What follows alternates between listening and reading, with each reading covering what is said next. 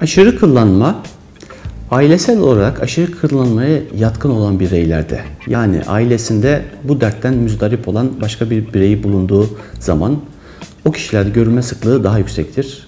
Bir. İkincisi aşırı kıllanma 10 ya da 20 kadının birinde zaten karşımıza az ya da çok oranda çıkmaktadır.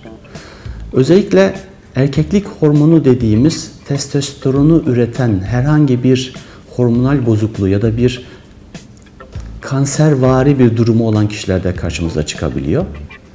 Bir takım ilaçlar ki en çok karşımıza çıkan kortizon türevi ilaçlar. Bu sadece krem de olabilir, yutulan haplar ya da ampul tarzında uygulamalar da olabilir. Kortizon türevi ilaç kullananlar da karşımıza çıkabiliyor. Bazen hiçbir sebep bulamadan da direkt olarak aşırı kullanmayla gelen hastalar var. Veyahut da bazen çok çok nadir görürüz. 60 yaşın üzerinde özellikle altta yatan bir kanser benzeri bir hastalığı olanlarda gene tüm vücutta aşırı miktarda tüy ve kıllanmayla giden çok çok nadir görülen durumlarda mevcuttur.